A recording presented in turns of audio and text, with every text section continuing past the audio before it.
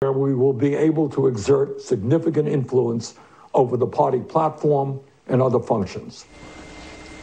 Hello, socialism. It's not goodbye. Uh, Kevin, uh, real quick, last night on Stephen Colbert last night, he came out and said Joe Biden's got to advance, to open up a circle. He's got to get more progressives around him. So, hello, $15 minimum wage. Hello, Medicare for all. And goodbye, oil and gas, because fracking is now banned if he gets his way and has legitimate influence with Joe Biden. Your thoughts? Yeah, so Bernie Sanders may be suspending his campaign, but his socialist ideas continue to live on, and they seem to be embraced more each day by Joe Biden. Yet here we are in this coronavirus, where the U.S. was uh, one of the best prepared nations in the world uh, to handle this.